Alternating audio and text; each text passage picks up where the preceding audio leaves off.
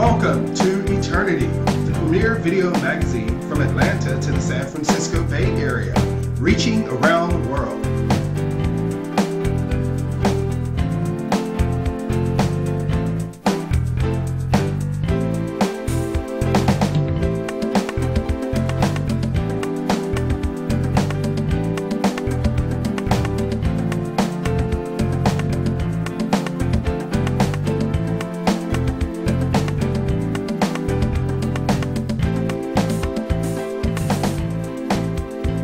MaxEternity.com, The Good Life Made Simple.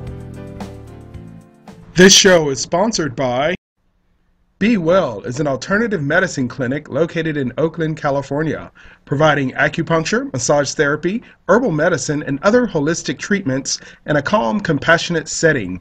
Visit BeWellNatural.com.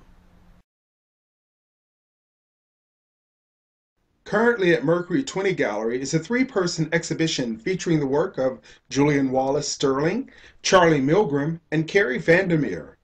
Mercury 20 is a cooperative gallery founded by artists for artists where one will find highly independent mid career creative voices.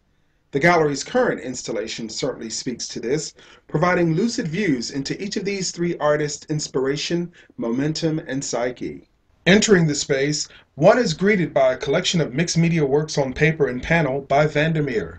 From a distance, you will at first notice the diversity of color and lyrical composition, and on closer inspection, attention to detail becomes quite apparent as Vander Meer uses an array of imagery and applications to create intricate, emotive arrangements, being mindful of scale and space, including negative space, exploring chaos in color and harmony. Further within the gallery is a selection of new work by Julianne Wallace Sterling, whose portrait paintings of women provide a nice contrast to Vander Meer's abstractions. Wallace Sterling paints about the realities, complexities, and absurdities of life as a woman, reads an introductory statement on the gallery's website. To an extent, the women depicted in her work are presented as muses, yet without overt sensuality or self exploitation. No doubt the women are beautiful, and yet the impression one gets is that they are thinking, imaginative individuals who know and respect their own power and vulnerability. Filling up the remaining gallery space is a linear erection of sublime sculptural articulation by Charlie Milgram. It's a well balanced collective ensemble of jutting black angular forms that defy gravity as they project more than a foot off the wall. The installation is entitled Stealth Reverie and the confrontational style of its physicality does not go unnoticed. The work is representative of the B 2 stealth bomber, whose real life consequence deserves closer examination. About the work, Milgram says, one B 2 stealth bomber costs approximately $2 billion, and tens of millions are spent each year to keep them radar proof, painted, and maintained. The U.S. has 20 in its fleet. Milgram is a high school arts teacher, and in a recent conversation at Mercury 20, she shared additional thoughts about Stealth Reverie, saying that the installation was done intentionally at the same time as San Francisco's annual Fleet Week, an event which she describes as the American military's big bravado of showing off. During Fleet Week, Milgram says there was actually a stealth bomber participating in the armed forces display.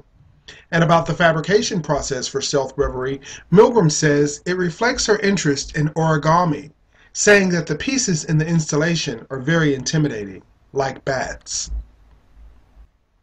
Julianne Wallace Sterling's new work, Charlie Milgram's Stealth Reverie, and Kerry Vander Meer's The Space Between runs October 6th through the 29th.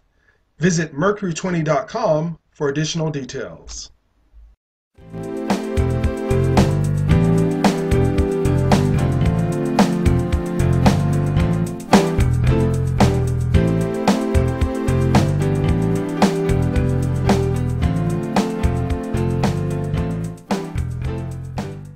MaxEternity.com, The Good Life Made Simple.